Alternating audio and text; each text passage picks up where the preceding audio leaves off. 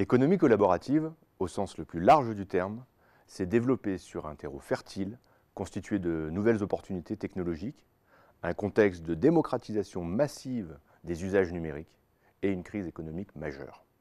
Ce contexte très favorable a permis l'émergence très rapide de milliers de start-up, puis la consolidation de plusieurs acteurs majeurs qui structurent désormais le volet marchand de l'économie collaborative.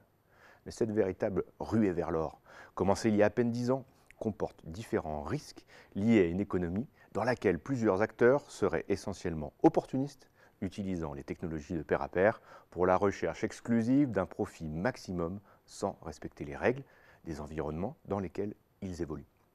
Nous verrons donc dans cette partie quels sont ces risques, mais aussi quelles problématiques plus structurelles ils révèlent. Le premier risque de l'économie collaborative est d'ordre sémantique. Il concerne l'utilisation abusive des termes collaboratif et partage par les acteurs du pair à pair marchand.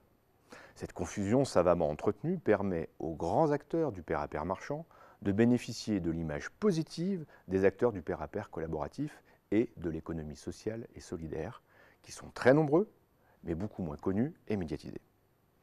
Même si ces derniers expliquent qu'ils n'ont rien à voir avec des sociétés comme Uber ou Airbnb, le mal est fait. Les licornes du pair à pair marchand ont très habilement utilisé les ressorts et valeurs du pair à pair collaboratif pour soigner leur marketing. On peut même considérer qu'elles ont réalisé une sorte de braquage sémantique sur le terme consacré d'économie collaborative en français ou de sharing economy en anglais. Notons que le mot partage prête lui aussi à de nombreuses confusions, fortuites ou organisées, et cela au détriment des purs players collaboratifs et notamment des acteurs de l'économie sociale et solidaire.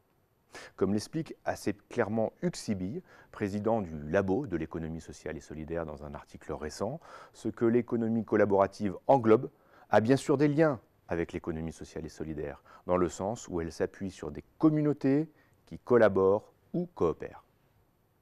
Mais il distingue les grandes plateformes qui utilisent et souvent le terme collaboratif, et dont l'objectif principal est de tirer un maximum de profit de clients et les acteurs de l'économie coopérative, dont l'ADN est de créer des liens de solidarité au sein de communautés sociales et économiques.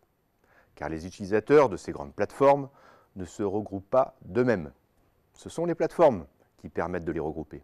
Ils ne constituent pas non plus une communauté, mais plutôt un groupement d'utilisateurs appariés, car ils ne partagent rien de vraiment commun, si ce n'est de voyager ou de dormir moins cher les bénéfices de lien social et de solidarité mis en avant dans le marketing de ces plateformes sont parfois réels, mais ne sont pas constitutifs du regroupement de la communauté, comme cela est le cas dans l'économie sociale et solidaire. De plus, ces grandes plateformes ne partagent rien des capitales, des communs dont ils tirent profit. Enfin, précise Luxibi, le terme d'économie collaborative au sens large ne nous dit rien sur la gouvernance et sur la forme juridique de ces acteurs. Alors au-delà des mots, des expressions globalisantes et du marketing, il faut donc aller voir quelles sont les formes de ces sociétés, quels objectifs sociaux sont réellement poursuivis par ces différents acteurs. Le deuxième abus de langage que l'on retrouve souvent dans l'économie collaborative est celui qui ferait de cette économie la remplaçante d'une économie capitaliste à bout de souffle notamment en instaurant une véritable économie de la fonctionnalité. Car dans le système actuel, il y a encore ceux qui possèdent des biens et ceux qui le louent. Pour que Airbnb et Uber existent, il faut encore des propriétaires privés de maisons et de voitures qui tirent un avantage de ce système, que ce soit un simple amortissement ou un véritable profit. Et cela n'a rien de nouveau dans l'économie, puisqu'on louait déjà des fours à pain au Moyen Âge, si l'économie collaborative prospère sur une meilleure utilisation de la propriété privée, elle se situe plutôt dans un prolongement ou une déclinaison numérique de l'économie capitaliste que dans une rupture conceptuelle profonde.